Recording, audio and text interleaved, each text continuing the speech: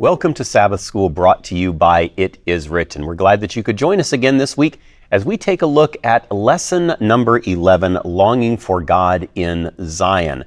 An exciting study as we're getting close to the end of our 13 weeks together. But as we begin, let's start with prayer. Father, thank you for being with us through this journey. And as we look at how we can long for you in Zion and understand more about what Zion is and what it means to truly long for you there, we ask that you'll guide our time together, and we thank you in Jesus' name. Amen. So, our guest this week, as each week this quarter, is Dr. Dragoslava Santrac. She has a PhD in Old Testament and a deep love for the book of Psalms. Slava, thanks for joining us again today. Thank you for having me. So, this week, we're looking at longing for God in Zion. Let's start with this question What exactly does Zion represent in the Psalms, and what's the significance of this week's study? Yes. Well, let's start with uh, the question what Zion actually is. Mount Zion, and people can see it and visit it today, is a broad, low hill uh, adjacent directly to the south side of the old city of Jerusalem. And in the Bible, Zion is often used uh, as a synonym for the city of Jerusalem and uh, also for the entire land of Israel. So Zion is very significant in, in the Psalms because it represents God's holy mountain. And many Psalms uh, say that the foundation of the temple, the foundation of the Lord's sanctuary, is the Mount Zion. Now, the mention of the mount is very significant because it conveys this important message that the God's temple is more than just a building. It's even more than just a city. It's a mountain. Therefore, it's something that's much bigger and greater than people can build and make uh, to honor God. And as Solomon in his dedication prayer for the temple said, God cannot be contained in a building. He is greater, greater than the temple. Also, the mention of the mountain has its significance in its ancient Near Eastern background, because in that culture, in that world, the mountains, and especially the mountain peak, represented the contact point between the celestial and terrestrial fields. It was a channel of communication between the divine and the human worlds. And now the, the bigger and more impressive and higher the mountain, the more exalted is the God that the mountain represents. So it's a, it's a little odd or strange, perhaps, then, if Mount Zion is kind of a a somewhat insignificant mountain. It's not a it's not a Mount Everest, we'll put it that way. Why would God choose this somewhat low mountain then to draw the attention to? Yes, well, that's a very interesting question because truly there were and there are many uh, larger mountains in that area. For example, Mount Hermon on the north, that were higher and more impressive. And interestingly, indeed, God chose this quite unim uh, unimpressive hill as his holy mountain. But there is a very significant message here. Unlike the pagan idols who needed some grand, impressive things to represent them in order to inspire worship in people, the Lord has this grandeur and majesty in himself. He is the one in his person, in his being, in his actions that inspires love and worship and his people. And what's so interesting is that it's that unlike the cultural understanding when, where the mountain uh, kind of gives this majesty to the God it represents, in the Psalms, in the Bible, it is the Lord who grants majesty and honor to this humble hill of Mount Zion. As much so that we read, for example, in Psalm 68, verse 16, that other mountains who are bigger and higher are now jealous of Mount Zion because it represents the Lord, the one who is the only living and awesome sovereign God. let's read Psalm 68, verse 16. Why do you fume with envy, you mountains of many peaks? This is the mountain which the Lord God desires to dwell in. Yes, the Lord will dwell in it forever. So, seeing that the Lord chose Mount Zion and the Lord is that high and lifted up God, all these large mountains are fuming with envy. So it's a very interesting picture of this, this lowly hill that God exalts, uh, very different than the other way around for others. Uh, why, why, are, why are the Psalms dedicated to uplifting this hill? What's, again, it's not the hill that's important, yes. but it's, it's God exactly. that's exalting that. Exactly. So all these songs that express love for Zion, that lift up Zion on high and praise Zion, they actually praise the one who to whom this hill belongs, and, and this is the Lord Himself. So that helps us understand Zion in the context of the of the book of Psalms. There are different types of psalms that we come across in here. Some of the psalms are called psalms of ascents. Um, any connection there with with the mountain? Mm, yeah, yes, absolutely. The psalms or the songs of ascents, uh, Psalms 120 to 134, uh, form a distinct collection or distinct hymn book within the book of Psalms. Now, the, the Hebrew title uh, is a bit unclear, but it's taken by most interpreters and scholars and in tradition to mean the songs of ascent, of going up, going up where? Up the Mount Zion, up to Jerusalem and the Lord's temple. And most likely these songs were sung by the pilgrims on their way to the city of Jerusalem during the three annual uh, festivals. Uh, the festival of Passover and uh, Pentecost in the spring, and the Feast of Tabernacle in the fall. And uh, these songs are quite short and easy to memorize, and they celebrate God's goodness and His love and protection. So it was something to, that lifted up the spirit of the pilgrims on their long journey. And as they were coming closer to Jerusalem, the song became more fervent and more excited because they are coming to, to bow down before God in His temple.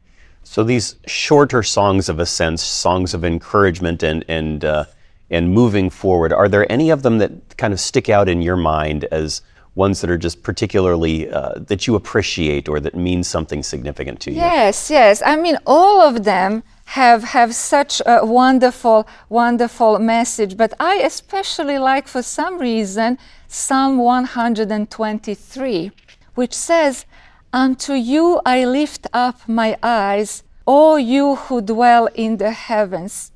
Behold, as the eyes of servants look to the hand of their masters, as the eyes of a maid to the hand of her mistress." So our eyes look to the Lord our God until he has mercy on us. Have mercy on us, O Lord. And I love this picture. It's very, very tangible and it's very intimate. We can imagine a servant who depends for his living on his master, who depends on on his master for his protection, for housing, and, and uh, he looks at, at his master's hand. And that's what we do. We look up to the Lord at his merciful and loving hand until he shows mercy on us. So, this is one of several songs of ascents that yes. we could kind of grab a hold of. As we're, when might these songs be an encouragement to us? When would be a time that we might say, you know, maybe I need to go back and look at one of those songs of ascents? Yes. What, what might that look like in a person's life? Yes, we, we should note here that uh, um, many pilgrims came uh, from situations of hardships and faced many challenges from within and without. So, verses like, for example, Psalm 126, verse 5 those who sow in tears shall reap in joy.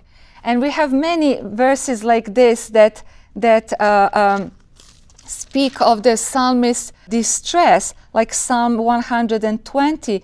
In my distress, I cried to the Lord, and he heard me. Deliver my soul, O Lord, from lying lips and from a deceitful tongue. So the pilgrims experience all kinds of hardships like we do today. And uh, as they were going to Jerusalem, they were bringing their burdens with them to bring them to the Lord's feet and leave them there and find rest and blessing and reassurance. So each of these Psalms, you will find a treasure of reassurance or, or encouragement for, for your current situation. So yes. that should be an encouragement. I mean, we take a look at the challenges that we face in life today, and there are no small challenges. Uh, whether people are facing health challenges or spiritual challenges or relationship challenges, financial challenges, there's a, a long list of challenges that we face today. And you may be facing something like that. If you are, then these songs of ascents were written for you to give you some encouragement, to give you some hope, to give you some help. And maybe your life is going just fine, but you know somebody who's going through some challenges. Share with them one of these songs of ascents and give them a little bit of hope, a little bit of encouragement as they're going through some difficult and challenging times. Because even though you may be just fine, somebody else may be having some difficulty, and God may be giving this to you so that you can then share it with them. Songs of Ascents, talking about ascending Mount Zion. We're going to be coming back in just a moment or two, but before we do, I want to remind you don't miss this opportunity to pick up the companion book to this quarter's Sabbath school lesson, of course, on the book of Psalms. Dr. Martin Klingbeil has authored this book. You can find it at itiswritten.shop. That's itiswritten.shop. And it will be an incredible blessing to you. We'll go into greater detail on the things that we are looking at day by day and week by week as we go through this quarter's lesson giving you some more encouragement, helping you to dig more deeply and learn more about the Psalms, then unfortunately we were able to, uh, to put in the study guide itself, the quarterly study guide itself. Only so much information could fit in there, but that, uh, that companion book will be an incredible blessing to you. Couple that with these, uh, these talks that we're having each week with the author, and you're going to have a wonderful, wonderful study indeed. Well, we'll be back in just a moment as we continue looking at week 11 as we study the book of Psalms. We'll be right back. It's one of the most challenging books in the Bible. Why do hard challenges come? Why does God allow difficulty and distress? And what's going on behind the scenes in a world filled with suffering and sorrow? Our ongoing series, Great Characters of the Bible, continues with a look at the life of Job, a man described by God as perfect and upright, yet afflicted by a devastating illness. Some of the most difficult questions people have deal with the God who permits suffering, yet the Bible presents logical, accessible answers that make sense and grow your faith in the God of heaven. Struggling to find answers, his integrity attacked by his friends and questioned by his wife, Job's journey into the depths of anguish provides answers for everyone and presents a clear picture of the character of God. Don't miss Great Characters of the Bible, Job. Brought to you by It Is Written TV. If you enjoy coloring, then you are going to love the Buried Treasure Coloring Book from My Place with Jesus. The Buried Treasure Coloring Book has more than just pictures to color. You'll also enjoy activity pages each accompanied by their very own audio story. Mr. Dixon came across a small, well weeded rice patch out in the middle of a field. Get ahead of a rainy day or a relaxing evening as a family and order the Buried Treasure Coloring Book from It Is Written.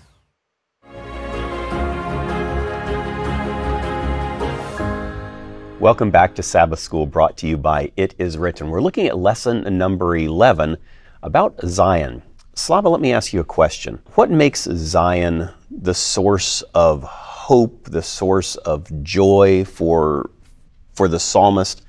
And, and why is the sanctuary such a special place that a day there eh, brings more happiness and joy than a thousand days elsewhere? Yes, well, we a bit started this, this topic uh, in the previous segment when we mentioned that the sanctuary was a safe haven, a, a place of refuge for the pilgrims who came from various uh, uh, difficulties and situations of hardships.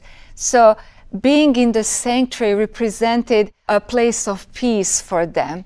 But other than that, of course, worshiping the Lord in His sanctuary was a very special experience. And experiencing the fellowship of the believers, that was a special treat for, for, for the people. So much so that, for example, in, in Psalm 133, verse 1, there is this beautiful metaphor uh, describing the fellowship of the believers in the temple.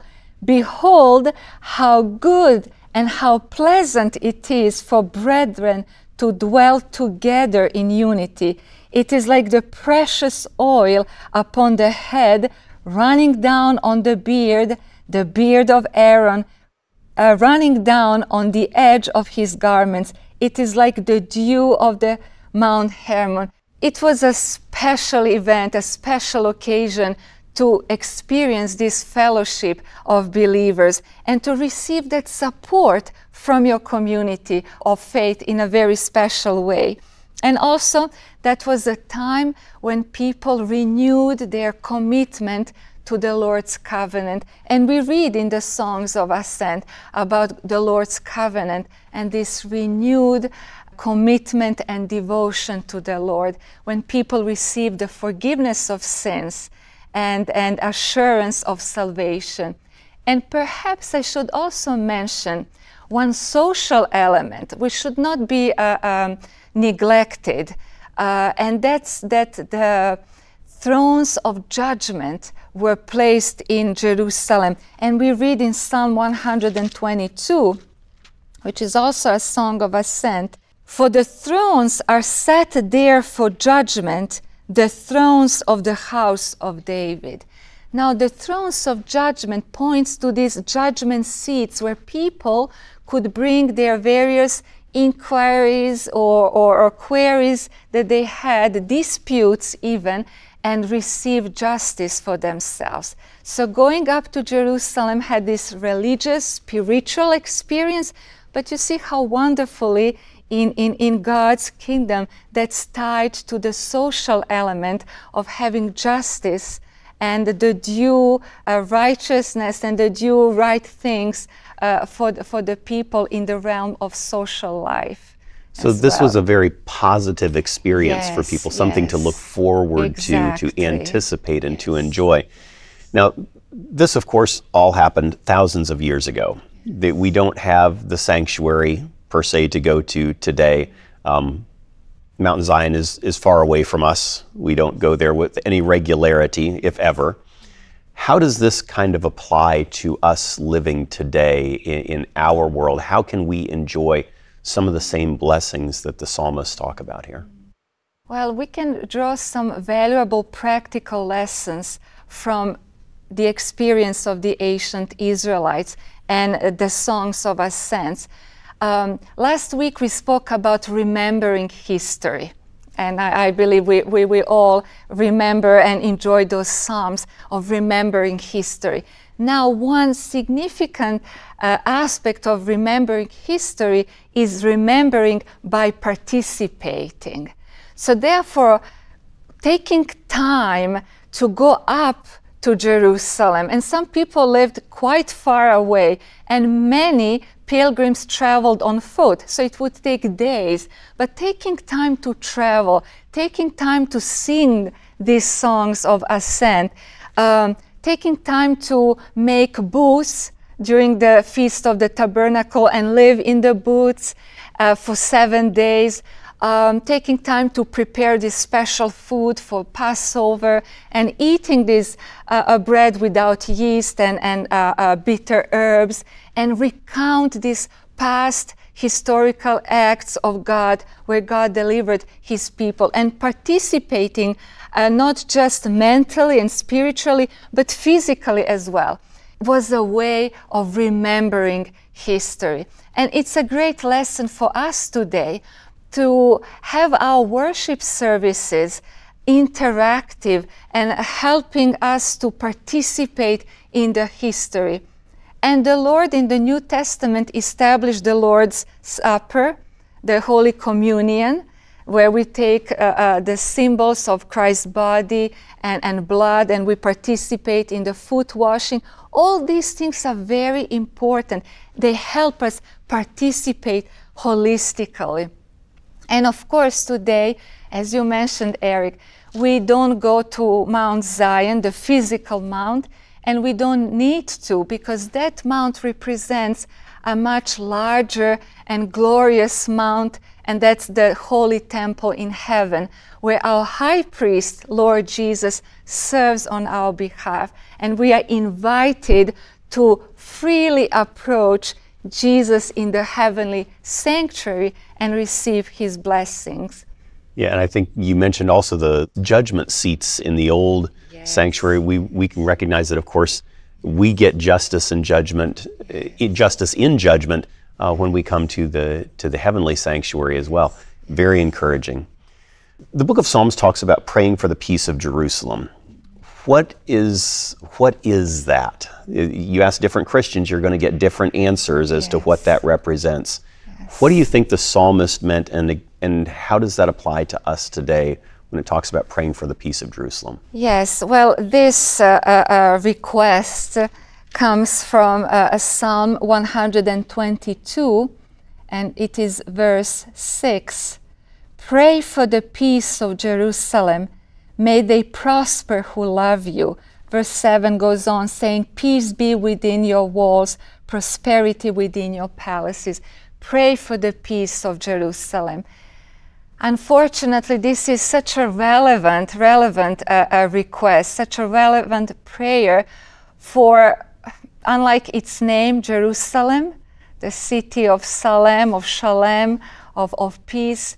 Jerusalem, unfortunately, historically, had very little peace, been engaged in so many wars, and uh, in these unfortunate recent re- events, we are again reminded that we need, that we are called to pray for literal peace of Jerusalem, for all the people, for all its inhabitants, for all the suffering and innocent people there.